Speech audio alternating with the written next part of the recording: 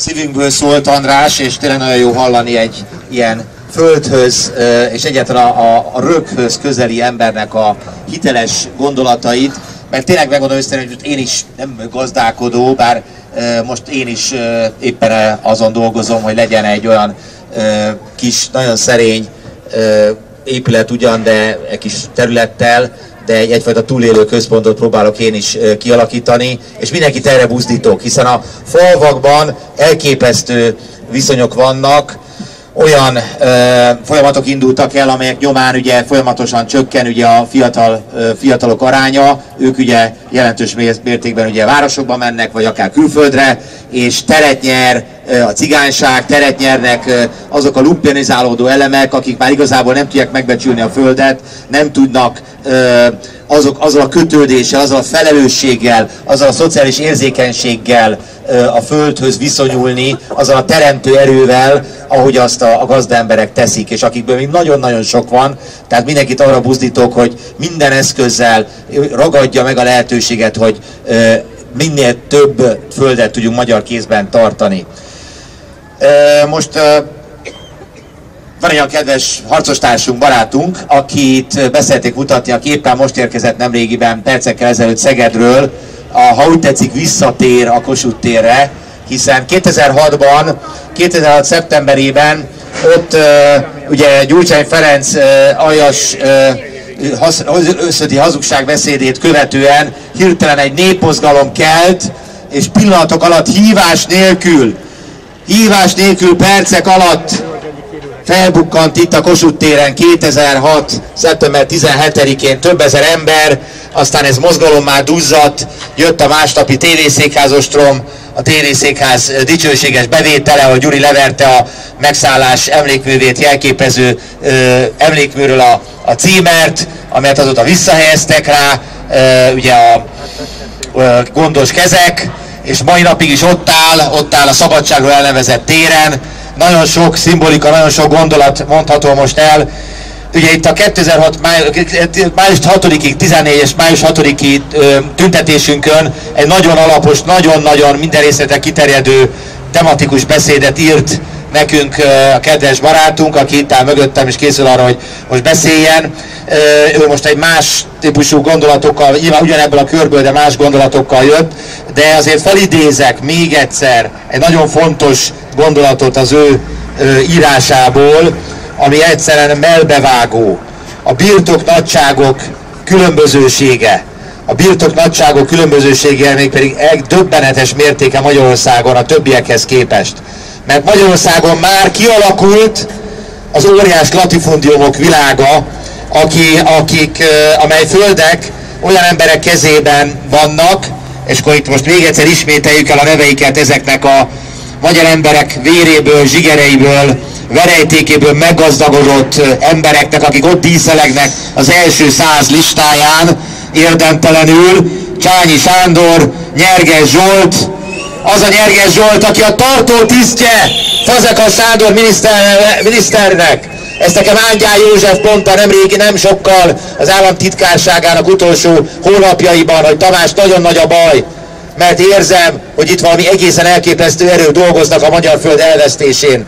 És ez az ember, így mondta Ángyá József államtitkár, a miniszter tartó tisztje, akit egyébként hatodikán szintén megkergettünk, és ö, ott volt a kajászói gazdaasszony Zsuzsa, szerettem volna, hogy álljon meg, nézzen szembe Zsuzsával, és mondja el neki, hogy miért lehetett az, hogy kisemizik a magyar gazdákat, hogy a csókos emberek kapják a földet, a Nemzeti Földalap ö, mafiózó közreműködésével, de nem adott választ, hanem nyakát behúzva gyorsan elmenekült, rendőri védelmet kapott, mint ahogy látom most is itt egy rendőr szakasz vonul el a túloldalon, bizonyára fontos dolguk támad, hogy demonstrálják erőiket, nem baj, mi is elegen vagyunk, de biztos, hogy majd alkotmányos kötelességüket teljesítik, ha esetleg egy újabb hazáról megpróbálja provokációval megzavarni a rendezvényünket, és megvédik a rendezvényt a provokátoroktól.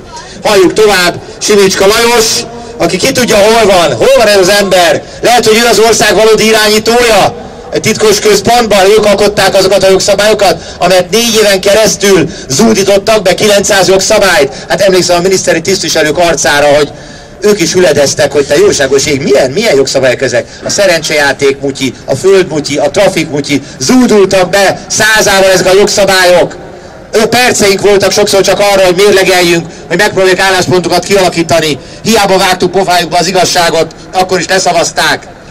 Aztán Leistinger Tamás, most már ugye a új kormány, az, a új hatalom kegyeltje, korábban az MSZP kegyeltje volt, most a fidesz KDNP kormány kegyeltje. Aztán Márdul István, Dorogi Árpád, Delics József, Harsányi Zsolt, Kárpáti László. Hát ők azok, akik Magyarországon az átlagos nagybirtoknak az urai, átlagosan Magyarországon, hölgyem és uraim, az á, nagybirtok tudják, hogy mennyi? 3164 hektár. Szemben Svájcban 54 hektár, Belgiumban 150, még Lengyelországban is csak 250, és így tovább. Hát mi folyik ebben az országban? Hallgassuk meg tehát erről, mit mond nekünk Bene Gábor Szegedről.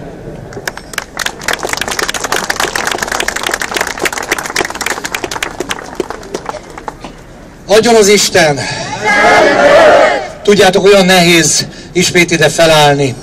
Olyan nehéz, mert 2006-ban azt hittem, és gondolom sokan voltunk így, sokan hittük azt, hogy nem igaz az, hogy egy ilyen tömegakarat nem tudja megváltoztatni azt a rendszert, amelyről ma már szerintem ebben az országban a szíve, a lelke mélyén minden magyar ember tudja, hogy alapvetően rossz, alapvetően hibás.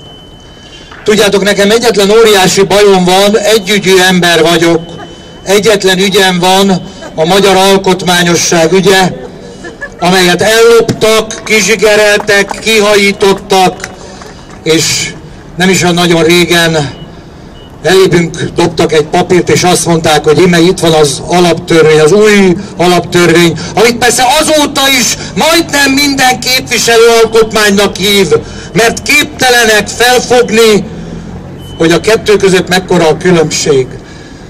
De pont azért, mert én mindig az alkotmányosságról beszélek, ennyire együgyű vagyok, és sajnos ennyire fegyelmezetlen is, mert mindig vissza-vissza térek ide, ezért én írtam ma egy rövid beszédet csak azért, hogy ne kalandozzak el, és túlzottan ne beszéljek az alkotmányosságról. Május 1-től nyilvánvalóvá válik a magyar nemzet megtartó ereje a parasság számára pontosan, hogy nem mese és nem túlzás az, amit pár magyar Kasszandra hirdetett már jó ideje.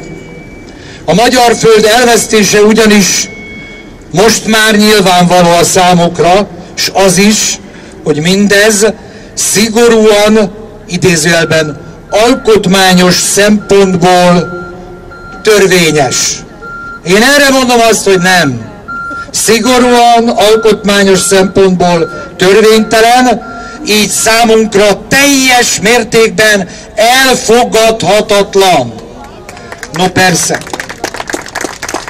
Én természetesen nem az idegen jogrende, annak alkotmányosnak hazudott elemeire, hanem az ősi szkíta alkotmányosságunkra, tehát a Szent Korona állameszme talajára épülő, és most figyeljetek, a szokásjogi alapú és nem a napi politikai érdekből született jogalkotó bűvész mutatványokra hivatkozom. Nem arra. Ám, ki kell mondjuk, nem csak a földforgalmi törvényt, hanem az egész berendezkedést kérdőjelezem meg azzal, hogy világossá teszem. Az államnak az a feladata, hogy a polgárait és a polgárok összességét védelmezze, akár a külső, akár a belső ellenség ellen. Védelmezze a gazdasági és a kulturális kifosztás ellen. Ám de ez a védelem nem működik. Éppen ellenkezőleg. Maga az állam ad lehetőséget a kifosztásunkra azzal, hogy hamis színben tünteti fel a közérdeket, sőt az egyéni érdekek szintjén is folyamatosan hamisít. Persze nem az állam a bűnös, hanem az államot működtető politikai osztály. Az egy gyökerű politikai osztály, drága barátaim. Mert a vörös bolsevikok után jöttek a fehér bolsevikok. Mert lássuk be őszintén, minden párt Magyarországon bolsevik párt fegyelemre épül. Bolsevik párt fegyelemre épül minden párt. És ezért könnyű annak a bizonyos nem létező, önmagát rendszeresen letagadó, bár egyre kevésbé letagadó pénzhatalomnak, hogy ezeket a pártokat dróton rángassa. Azt kell mondjam, hogy bár tényleg írtam egy nagyon hosszú tanulmányt, és én úgy emlékszem rá, legalábbis azt mondták, hogy Eszter felolvasta a múlt alkalommal, de ne térjünk vissza ezekre a közismert tényekre. Ne térjünk vissza rá azon egyszerű oknál fogva, mert ha valaki a Nemzeti Írhálón megkeresi a rovatomat, akkor ott szépen elolvashatja, elemezheti, rengeteg adat, rengeteg szám van benne, nem akarom önöket ezzel most fárasztani. Sokkal inkább azt mondom, hogy a köztudott ügyek, amik közszájon forognak helyett, inkább valami mást mondjak. Boncolgassak három fontos kérdést. Az állapotfelmérést, a jövőbe tekintést és a, tessenek meglepődni, a jelenlévők felelősségét a magyar jövőért. Meg kell önöket dicsérjem, de felelősséggel kell önöket felruháznom. Azért kell önöket megdicsérjem, mert eljöttek, kiálltak, ez a nemzet kritériuma, a cselekvő hazafiság, hogy eljöttek. De ez felelősséggel is jár, de erre majd a szöveg végén fogok rátérni. Először is állapotfelmérés. A hazának se pénze, se katonája nincs. A katonaságot, ami az ifjúság legkitűnőbb nevelője, fegyelemre szoktatója volt, egyszerűen szétverték, megszüntették. Ami ma van, az vicc katonaság. A pénzkiadás jogát pedig átadták az Európai Központi Banknak, az úgynevezett virtuális pénzteremtés lehetőségét pedig a hazai leánybankoknak. Mondanom se kell, hogy ezek a leánybankok mind magánbankok. Ez utóbbi a pénzintézeti törvényben elektronikus pénz előállításaként szerepel, tehát ha valaki azt hiszi, hogy ezek a bankok csak úgy idejöttek, és csak úgy önhatalmúan elkezdtek működni, hát ez nem így van. Ezt a politikai osztály a magyarnak mondott egy gyökerű politikai osztály intézte így, és a jogokkal, idézőjelbe téve nagyon ezeket a jogokat, mert ugye mit jelent a jog? A jó ige. Mitől jó ige az, amit itt hátam mögött ebben a házban gyártanak folyamatosan. Mitől és kinek jó? Talán a pénzhatalomnak. Igen, a politikai osztály adott jogosítványt ezeknek a bankoknak, hogy működjenek. És tessenek nyugodtan megnézni a törvényt, a földforgalmi törvényt, amiben benne van az is egyértelműen, hogy a bankoknak csupán hat hónapig van lehetőségük arra, hogy a magyar földet tulajdonoljanak. Hat hónap után el kell nekik adni. Micsoda álságosság. Majd ezt követően kiáll Fazekas miniszter elvtárs, és azt mondja, ez a törvény megvédi a magyar földet. És ilyenkor nem tudom, komolyan mondom, nem tudom, hogy miért nem állítják meg az utcán. Jó, azt mondom, ne köpjék le, de legalább kérdezzék meg tőle, nyomatékosan. De majd erről is beszélünk. Az állapot felméréshez tartozik még az is, ezért kimondom, hogy egységes nemzeti értékrend is létezik, de azt még nem ismeri sem a nép, sem a nemzet. A nemzet, amelynek pedig az államot is kézben kellene tartania, de nem a nemzet tartja az államot a kezében.